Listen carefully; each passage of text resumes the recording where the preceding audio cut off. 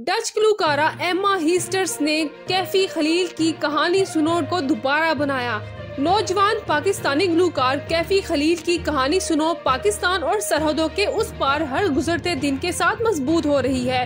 Dutch ग्लूकारा एमा हिस्टर्स, जिनके YouTube पर 5.8 मिलियन सब्सक्राइबर्स हैं, नई गैर मुल्की ग्लूकारा हैं, जिन्होंने हिट पाकिस्तानी नंबर पर अपनी आवाज़ दी है और उन्होंने कहानी सुनो गाने को मुकम्मल उर्दू में कवर किया है। उन्होंने अपने इंस्टाग्राम पर जो कवर पोस्ट किया है, उसकी वीडियो अब वायरल हो रही है। हीस्टर्स के ताज़ा तरीन कवर से पता चलता है कि आलमी सतह पर हिट कहानी सुनो ने मौसीकी की दुनिया पर काफ़ी असर डाला है। अब तक बहुत से पाकिस्तानी और गैर मुल्की गुलकार कैफी खलील के चार्ट टॉपर का अपना वर्जन लेकर आए हैं। इस हिट नंबर को आयमा बेग की तरफ़ से पेश किया गया और इसी उन्वान के साथ A R Y digital serial के लिए मुझे प्यार हुआ था ओ एस टी के तौर पर दोबारा बनाया गया।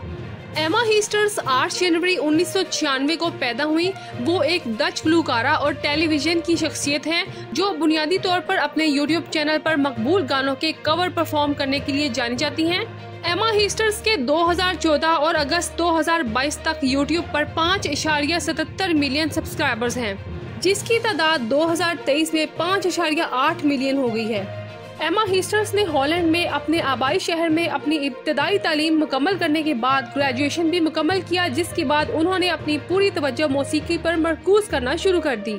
यूट्यूब पर अपनी पहली वीडियो अपलोड करने के बाद वो मुसलसल अपने गाने की वीडियोस अपलोड करती रही। उनकी सुरीली आवाज़ को सुनकर लाखों लोग उनके दीवाने हो गए हैं और उनकी शोहरत बैरून मुल्क में भी दूर दूर तक फैल गई है।